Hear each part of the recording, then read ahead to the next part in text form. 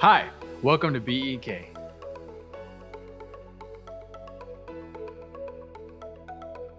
Today I'm going to be talking to you about a few different items we have here at BEK.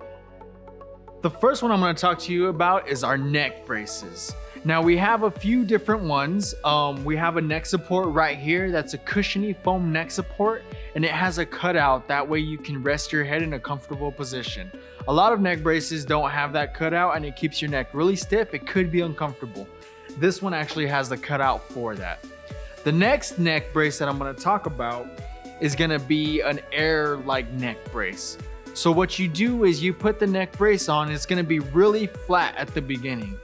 After that, you can pump up as much air as you want and what it's gonna do is it's gonna get tighter and keep your neck in a certain position.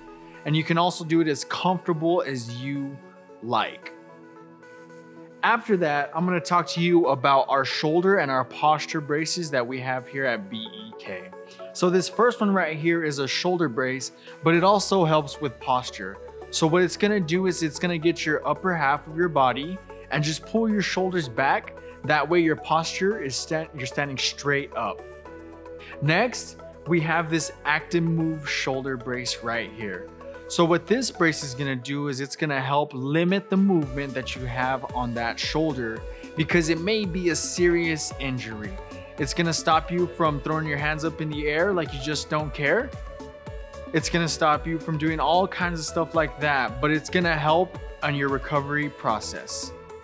After that, we're gonna have our posture control brace.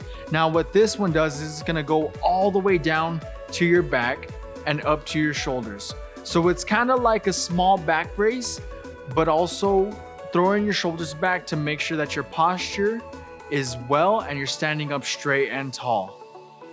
These are the items we have here at BEK to help you out. Come on by. Let's see if we have something that'll fit your needs. See you later. Bye.